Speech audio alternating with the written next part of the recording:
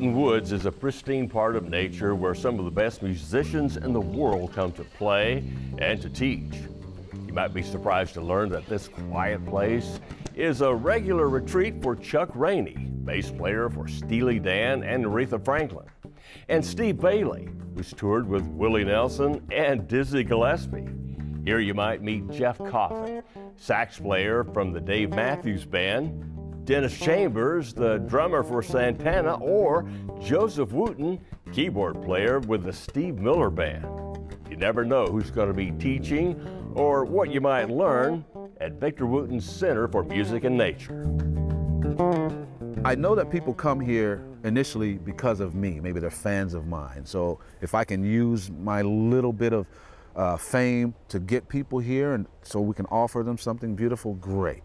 And people come here and I can tell they're excited to see me and some of the other famous instructors that are here. They're really excited. They want autographs. They want pictures. Some of them are afraid to say anything. You know, and we understand that. And now that we've done it for a while, the thing that makes it the most beautiful for me is the fact that I know that's all going to go away. One, two, three, four. Victor Wooten is the five-time Grammy Award-winning bass player for Bela Fleck and the Flecktones. So check this out. If I want to create tension. He's been hosting educational music and nature camps for adults, kids, and families for more than a decade.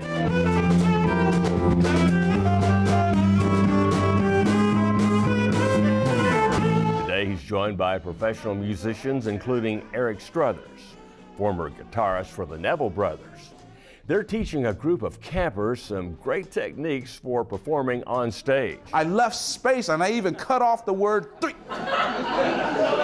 Our camp is and has always been and will always be open to everyone. You don't need any advanced music knowledge. But what I do want is an advanced desire to grow, to learn, to share, to explore. That's who we're looking for. I know that there, right now there's no other camps like this one.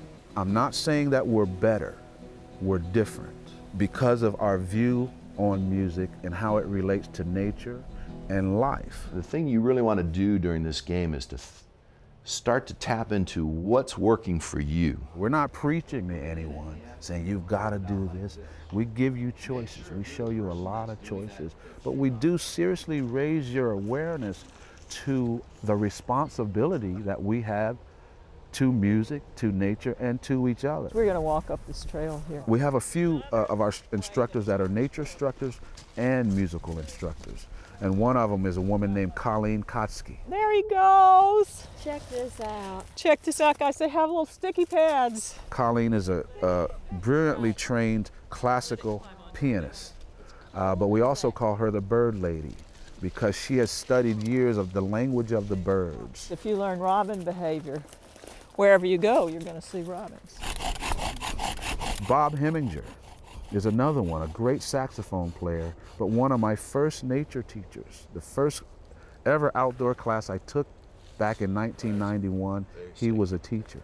And he helped me make my first fire with sticks.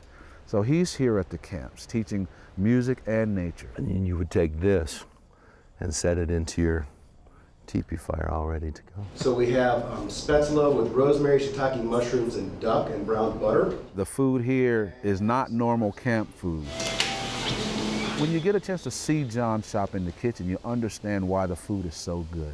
Because he and his staff, they're in there dancing, the music's playing, it's great music. They're smiling, they're joking. And you know, it's just full of love in the kitchen, and you taste it in the food. I think by the, the grace of God and the grace of our friends, they've made it able for, uh, for us to be able to keep the prices low. We have recently become a non, non-for-profit. So one of the things we do first is figure out what it costs to run this camp and then charge only that. I want to cater to the, the people that aren't so well off, but still want to come, right? And we want to make it possible for those people to come. We've never made a dime from running these camps. Um, I've never made a penny from it, right? Not in money. I've made everything in just the spirit of what people offer. And, you know, most of this place was built by campers. You know, so they're totally giving back. The campers we met gave the experience good reviews. And some, like Scott here, traveled a long way to take it all in. It's beautiful. I'm from Sydney, I'm from Australia, and we've got some of the best beautiful places in the world, and this is, this is phenomenal. It's lovely. And this camper, Virgil, made it over from Amsterdam just for this unique experience. I can't describe it with words, but it is mind blowing, and I think that every music- musician should be here once in his life or her life. It was Sarah's first time to attend any camp, much less a music camp. and I came to be with my 16 year old nephew, who's a bass player. We thought that Spirit of Music was an irresistible title for a, for a camp, and we wanted to have some good bonding time. So I showed up and walked into an amazing energy. Matt's a musician from Virginia who gets more out of camp than just honing his playing skills. My experience is that as I came here as a musician, as a person, my, my life has changed forever for the better. I, I've, I've learned how to be a better listener in music and in life, and I've learned a lot about nature. And I've brought five of my students here. I brought my wife here. I brought my son here. So it has definitely changed my life for the better. And my wife loves it when I come here because she knows I'm going to come back a better person. Victor Wooten offers seven or eight camps every year. Not only music camps, but also nature camps that are all about animal tracking and discovering exotic plants. To Victor, music and nature go together like lyrics and a melody.